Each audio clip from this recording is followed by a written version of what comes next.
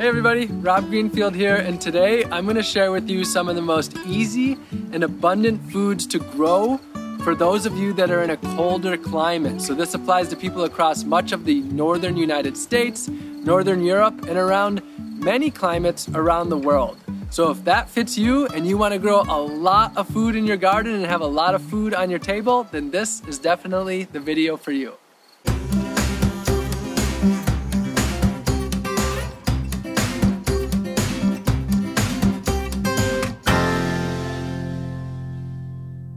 A lot of you know me for my year of growing and foraging 100% of my food, where literally everything that I ate for a year was either from my garden or foraged.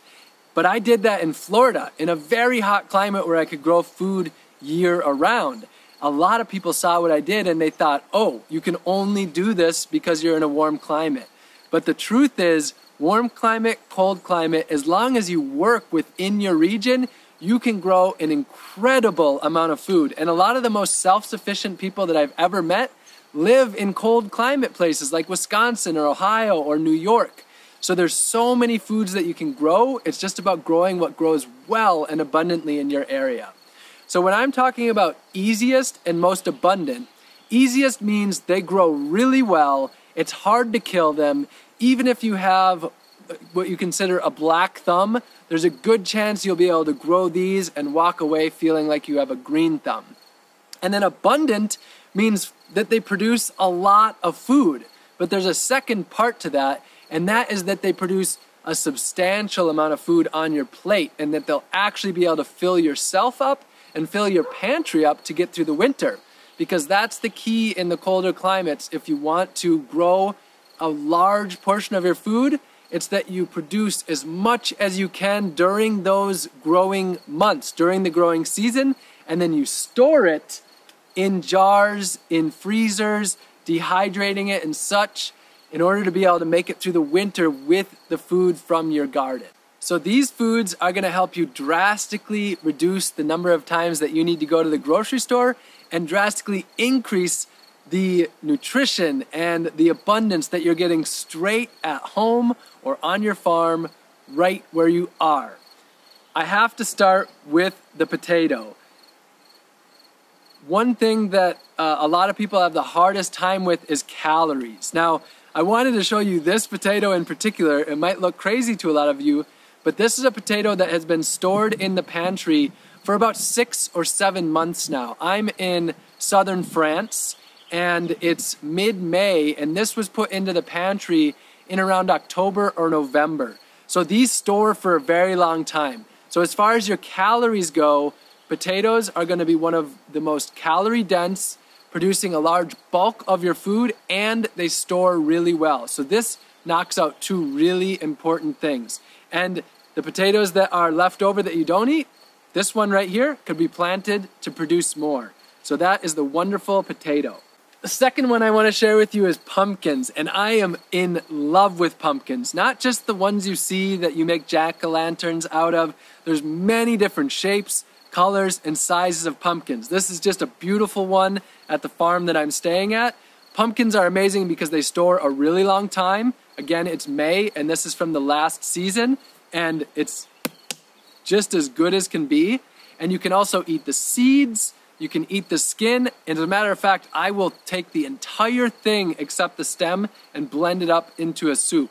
So, pumpkin and different winter squashes, they provide a lot of sustenance, nutrients, and a lot of them are very easy to grow. Grow the ones that are adapted to your climate. Now, next I want to share summer squashes, so zucchini. This actually is more of a winter squash, but it looks kind of like a summer squash, so I'm using it. Now, zucchinis are truly amazing. I've traveled through Washington, through Wisconsin, through New York, all across the northern United States, and people tell me that they have so many zucchinis that they have to try to give them away, but they can't because everybody has so many of them. They get huge, you can eat them when they're giant, or you can eat them when they're small if you want them to be more tender. So zucchinis are a, a must for a huge amount of sustenance and being extremely easy to grow. The next one I want to talk about is beans. And beans are truly incredible. You can either eat them fresh, right off of the vine or the bush. There's, there's pole beans and there's bush beans. You can eat them fresh. You can wait for them to dry on the vine to have dried beans like you would buy at the store, like your pinto beans or your black beans or your lentils. Or you can can them. These are uh, canned ones, for example. And another way to store them is freezing them. So the freezer is a really great way to store food. It generally costs only a few dollars a month to run a deep chest freezer, and you can store a few hundred pounds of food.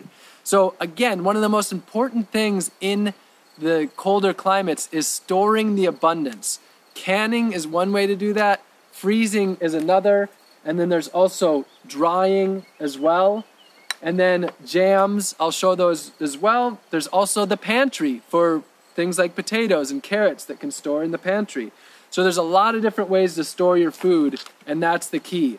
Beans are very easy, very abundant, and I also want to mention peas, which are kind of my runner up to beans, very easy to grow for a lot of people. Some people have problems with them, um, and they're not nearly as filling as beans, but peas are another really great crop as well. All right, the next one is carrots. This is definitely a favorite for me, although to be honest, I just love all foods that grow really abundantly and easily. I mean, so this is a great video for me to be filming because this is my passion. But carrots. Now, these carrots have been stored in boxes of sand in a cold pantry. Again, these have been stored for about six months. So they're not your fresh, super crisp ones, but let me give this a bite. That's still pretty crunchy, and these are about six months stored. Wow. It's actually, uh, wow, they're even sweet still. Nice. Not as flavorful as some carrots that I've had, but sweet. So these can be stored, they can be canned as well. I love to make carrot juice. I mean, that's one of my favorite things. So, carrots, that's an important one. And I want to mention with carrots beets. Now, for a lot of people, beets are super easy. Some people, beets have been a challenge. So I don't necessarily consider them the most easy, but I have to mention them because they can be very abundant. For some people, they're very easy. But if you grow beets, you have to eat the greens. If you're wasting the greens, you're wasting some of the best nutrients and taste. They're one of the inc- most incredible greens if you ask me. They're, they're absolutely my favorite or one of my top favorite greens. So, carrots and beets. To continue on, I want to mention a few more root vegetables, and that would be radishes and turnips. So, radishes are one of the easiest foods to grow, and you can actually harvest radishes in about 30 days. The small radishes. They're one of the fastest growing crops that there are. And you can grow daikon radishes, which, which get really huge. And I grew a lot of daikon radish in Florida. And then turnips, turnips can be pretty easy to grow as well. They are a nice root. They go really well with uh, potatoes and beets and carrots baked together. I love baked turnip. Living off of your garden doesn't mean living without flavor. In fact, it can mean a really delicious garden full of flavor. This food can be grown right here and you can harvest it within moments before you're putting it on your plate. So you can get some of the most delicious foods that you'll ever eat. But I really like, to, in order to have that, for me, there's some key ingredients. Onions are one of them, herbs are as well, which I'll get into pretty soon. Now, onions can be extremely easy. I want to say that you might have a hard time getting those big, giant onions that you would get at the store that's not something that every gardener or beginner gardener will be able to get. It's more likely that you'll be able to be successful with small bulbs. And the other thing that's really one of the easiest is bunching onions, and you can eat the greens. Now, you can eat the greens of all onions as well, and actually, if you eat just the right amount, you get a crop of green onions and then a crop of the bulbs as well. So, the smaller ones are generally easier for beginner gardeners. Another one that I want to mention is garlic. Now, garlic is super important to me. It's a wonderful medicine. It adds an incredible amount of flavor. For some people, they found garlic to be super easy. It's a little bit more of a challenging one because you plant it in the fall and then harvest it in the late spring. It sits under the snow for the winter, so that makes it not quite the easiest. It's a little more challenging, especially for beginners, but it can be pretty easy. With garlic, this is a clove. Pop that in the ground, starts to sprout, and then you've got garlic. Now, if you're not successful with the bulbs, you can grow it just for its greens, and you can get really, really productive, abundant greens out of garlic, and they're very strong. That was quite strong, just like garlic. So, onions and garlic, those are also extremely important for preserving food when you're canning um, and adding to soups. Those really fill out the meal and add a whole lot of flavor. I want to talk to you about greens now, and greens are where you get a lot of your nutrients. They're one of the things that makes the most sense to grow locally rather than having them be shipped. They take up a huge amount of space and they really are just one thing that does not make sense to be shipping long distance.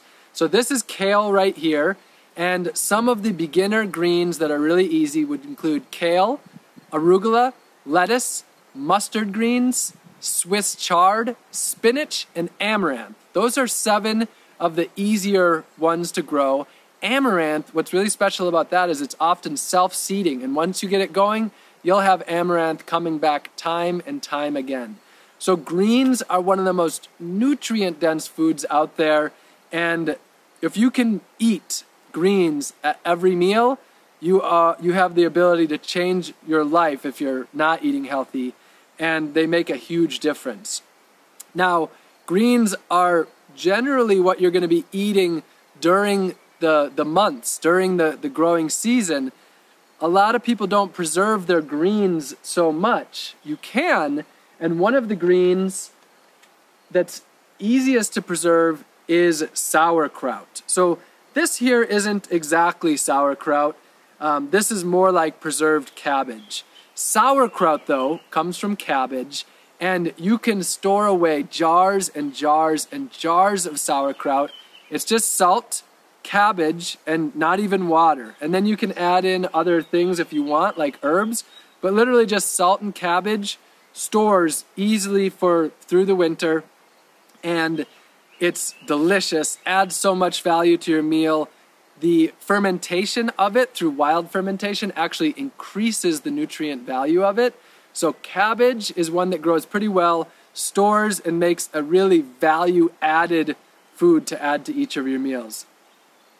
Can't say enough about sauerkraut. And if you're interested in wild fermentation, check out Sandor Katz's book called Wild Fermentation. It is an, a must read if you're going to get into the storing and fermenting of foods. All right, next I want to talk to you about herbs. These add incredible amount of flavor to your meals. You can make teas with them, and they are often one of the absolute easiest things to grow. So, some of the herbs that I'm going to mention are basil, dill, cilantro, oregano, rosemary, thyme, and mint. Here is basil. This is being grown in a greenhouse to get it started.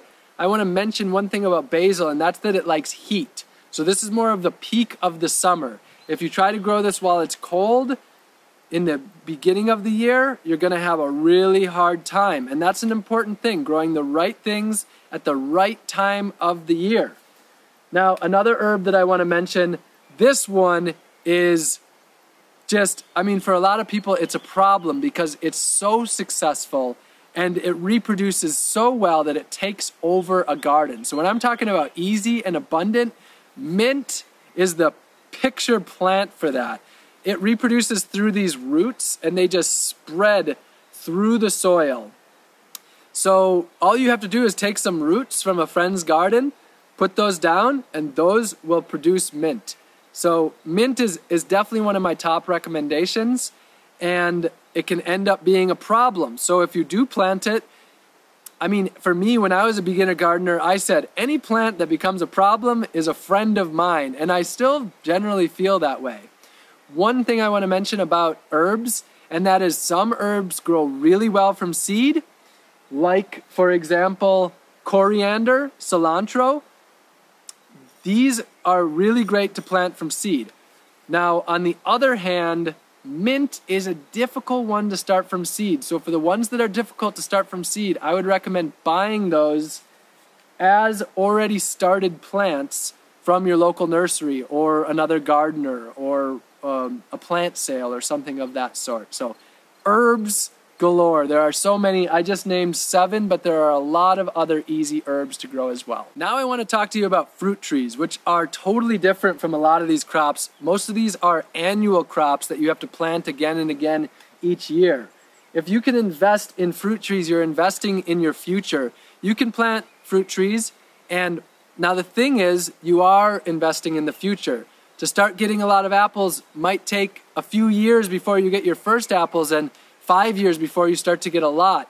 But you'll have apples for decades to come.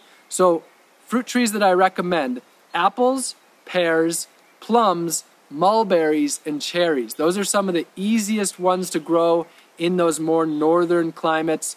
Apples can store just like this through the winter.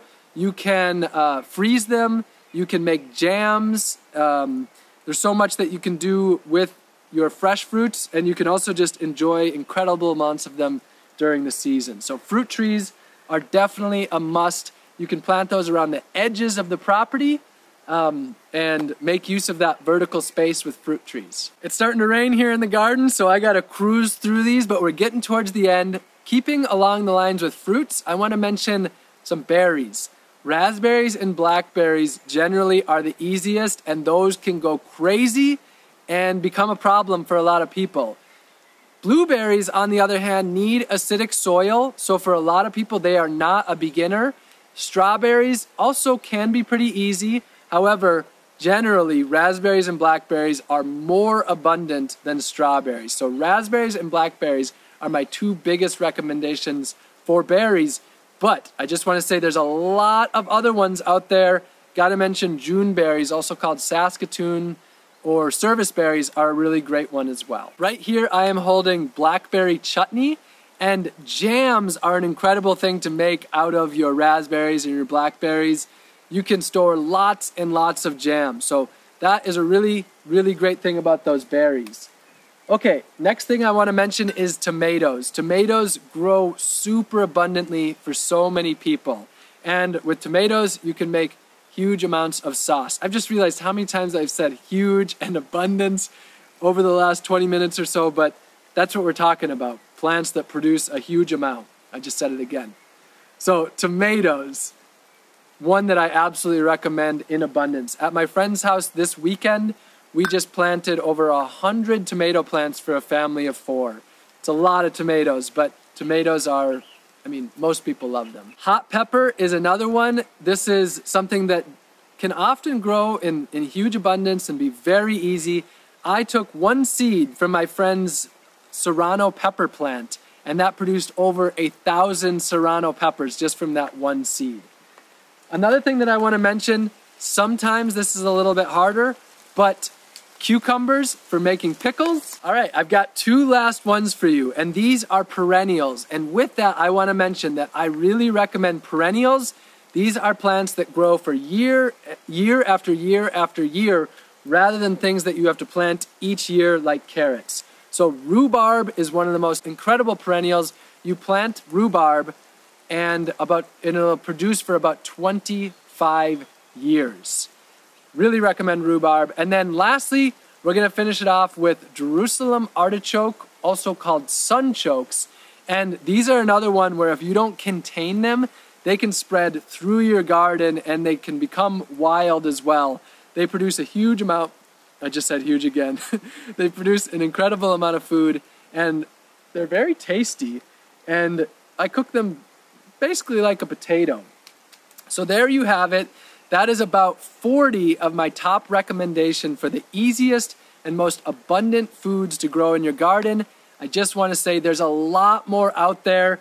I picked a lot of the common foods that people have a lot of experience with and, and, and recognize because it's easier to get started with that rather than plants that you might never heard of, like gooseberries, which grow well in northern climates, or like moringa kale and uh, or moringa katuk and chaya, which are more southern climate.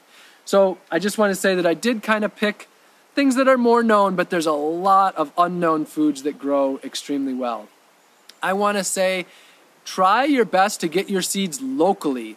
Locally adapted seeds will grow much better in your area because they are adapted to that area. And then buying your plants from local nurseries that are using varieties that have been grown in the area for decades helps a lot. Also, for support, join a community garden if you you know feel like you have a black thumb. It would be incredibly helpful to be around other people. And then also volunteer at farms and gardens. That way you can be learning and you can be helping at the same time. And the amount of knowledge that you gain by volunteering at gardens and farms is pretty priceless I hope that this video has really inspired you to grow a lot of food this year and the years to come. Start small. Don't feel like you have to grow all 40 of these crops this year and add on each year as you start to get better and better. I'm excited for you to get out there and start growing some of your own food. If you enjoyed this, make sure that you subscribe to the channel. Lots more to come. Comment below and uh, also like this to help this get out into the YouTube world and inspire more people to start growing their own food. I love you all very much and see you again soon.